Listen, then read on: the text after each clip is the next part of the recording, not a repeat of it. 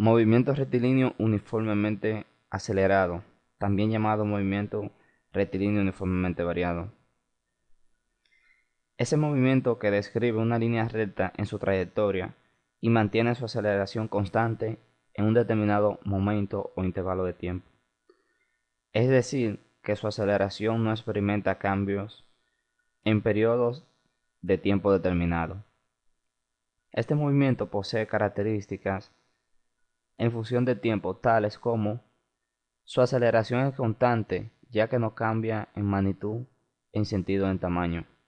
Su trayectoria es una línea recta. Su desplazamiento, distancia, su velocidad final, su posición final varían en función del tiempo. Su gráfica velocidad-tiempo es una línea recta diagonal. Su gráfica posición-tiempo es una parábola. Su gráfica aceleración-tiempo es una recta horizontal.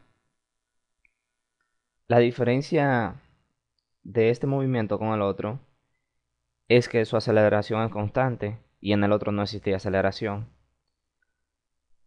Eh, desglosamos la siguiente fórmula de velocidad, distancia y aceleración. Acá la velocidad es igual a velocidad final más aceleración por tiempo. Segunda fórmula de velocidad. La velocidad es igual a velocidad inicial más velocidad final entre 2. Tercera fórmula de velocidad. Velocidad al cuadrado es igual a velocidad al cuadrado más dos veces la aceleración por la distancia.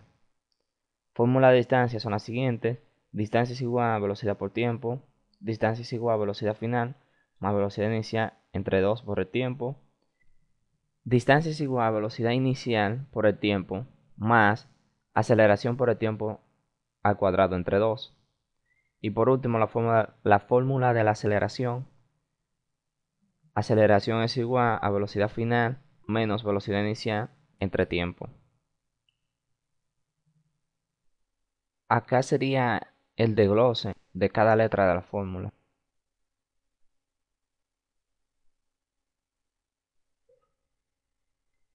Los ejercicios para este movimiento son los siguientes. Un automóvil cambia de velocidad de 10 metros sobre segundo a 50 metros sobre segundo en 5 segundos. ¿Qué distancia recorre este automóvil? Lo primero que debemos realizar o sacar en cuenta, tener en cuenta para realizar los ejercicios es sobre nuestros datos.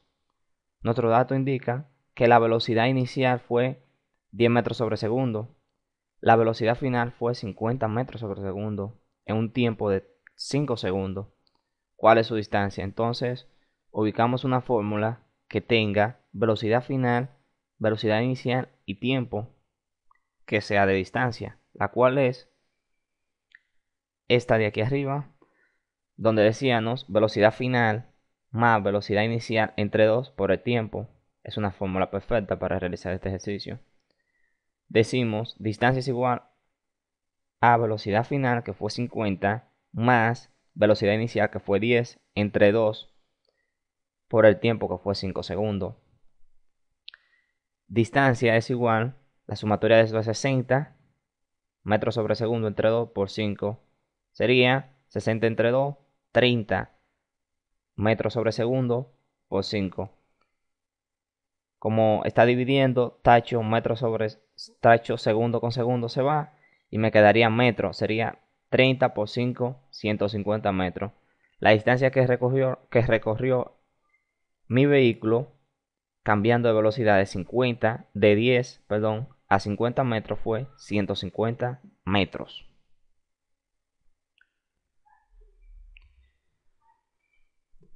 Nuestro segundo ejercicio dice, un niño deja caer un balón desde la ventana situada a 40 metros de altura. El balón acelera 9.8 metros sobre segundo cuadrado. ¿Qué tan rápido iba cuando chocó contra el suelo? Nuestros datos arrojan que la velocidad inicial fue cero. La aceleración fue 9.8 metros sobre segundo cuadrado, que sería la gravedad. La distancia fue 40 metros. ¿Qué rapidez? Bueno, la rapidez diríamos que es el valor absoluto de la velocidad. Por tanto, debemos buscar una fórmula de la velocidad donde nos indique velocidad inicial, aceleración y distancia. La fórmula correcta sería esta, donde nos indica velocidad al cuadrado es igual a velocidad al cuadrado más dos veces la aceleración por la distancia.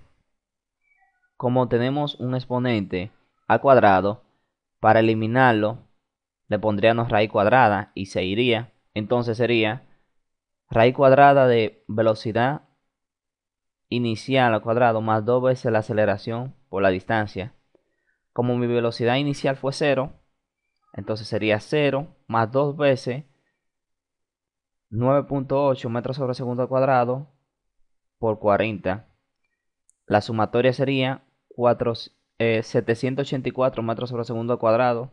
Entonces la raíz cuadrada de eso sería 28 metros sobre segundo cuadrado. La rapidez es el valor absoluto de la velocidad. Entonces sería el valor absoluto de mi resultado. La rapidez sería 28 metros sobre segundo.